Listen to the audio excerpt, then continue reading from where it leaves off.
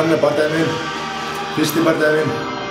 Hann var hérna, hann endaði með teknilega brotiði í annar brotiði. Bí, rosalega reynslu við að hafa klarað hann bardaga sko og finnst það líklega eftir að gagnast mér tölvert í þessu bardaga. Aðstæðurinn minn, Bobby Pallett, núna heitir, uh, fyrir ykkar miklu reffilegri heldur með síðast anstæðingur. Það er mjög öflugur. Uh, skilst það að sé kickbox, kemur kickbox-grunni. Við sjá tvo bardaga frá honum sem endur báðir í gólfinu. Hann virðist vera þó nokkuð öflugur í gólfinu. Þannig að ég verði alltaf, já, hann er eftir að vera mjög verðið í ráðstæðu.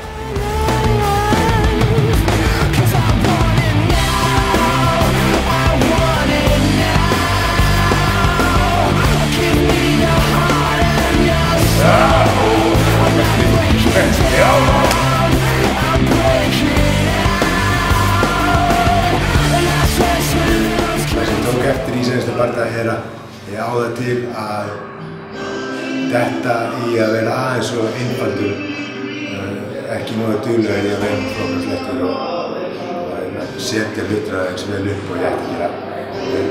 Ég er mest búinn að vinna í því og það er svona það sem að ég er að trúa nýtt með hvað best í næsta barndag.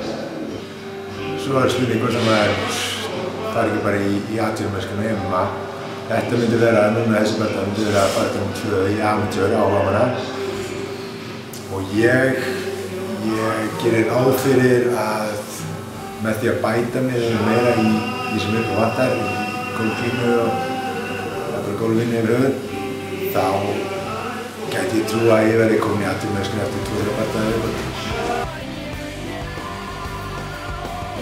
Ég gerir ráð fyrir að þessi bardagi endi með Rotur Gin Brown mér í fyrstu annar rotu mjög líklega með hægri byrni eða hægri byrni.